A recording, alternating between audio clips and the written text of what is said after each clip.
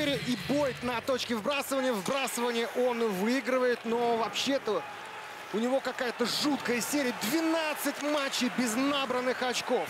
Ну, никуда не годится такая серия. Салминина. Вот, например, попросили из команды.